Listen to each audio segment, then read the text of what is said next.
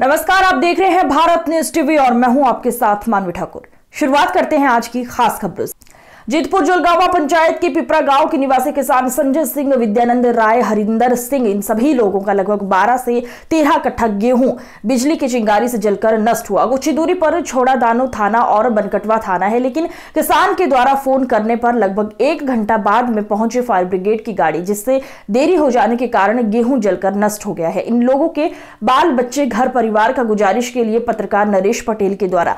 बिजली विभाग के एस घोड़ा सहन एवं बनकटवा अंचल के अंचलाधिकारी से बात किए तो अंचलाधिकारी ने बीए को आवेदन देकर गेहूँ के खेत को निरीक्षण कराकर अंचला अधिकारी को आवेदन देने पर जो सरकारी मुआवजा की वरदान है, उनको दिया जाएगा। ऐसे आश्वासन दिया गया।